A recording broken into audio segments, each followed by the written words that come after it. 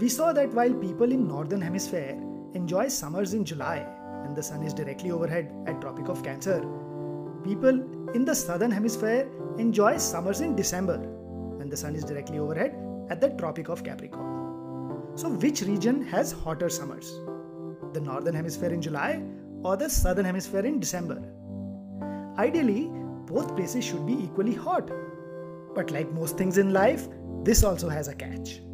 So let's dig deeper into this phenomena. Northern hemisphere has summers when Earth's axis is tilted towards the sun, so it gets direct sunlight. Additionally, summers in northern hemisphere happen when sun is farthest from the earth. So this means it gets 7% less energy in summers than the summers in southern hemisphere in December. So this should mean that the summers in southern hemisphere should be hotter because it gets more energy However, this is not the case. But it turns out that the northern summers are hotter than the southern summers.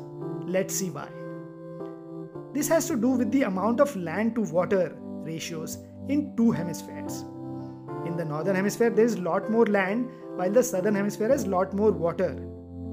Land absorbs heat much faster and gets heated up much faster as compared to water. So, when it is summer in northern hemisphere, larger amount of land gets heated up much faster. In the summers in southern hemisphere, the larger amount of oceans take much longer to get heated up, so the overall summer temperatures are not that high. Water also loses heat slowly, so the large water bodies in southern hemisphere which got heated up slowly in the summers lose heat slowly during the winters. This leads to milder winters and summers in the southern hemisphere. And all this is due to the much larger percentage of water in the southern hemisphere.